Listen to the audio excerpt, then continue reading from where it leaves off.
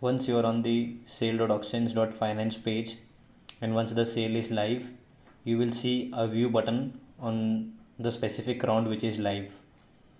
So this is a dummy page. I will tell you how you can connect your wallet over here. You have to just go to view.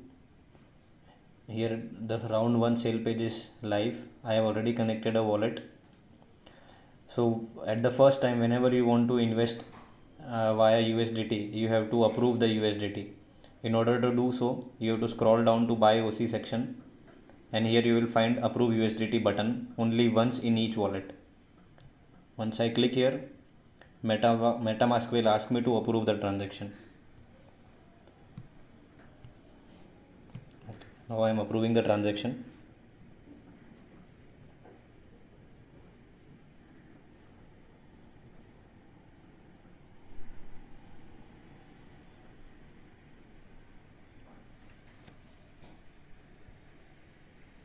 okay after the transaction gets approved this approve USDT button will go inactive.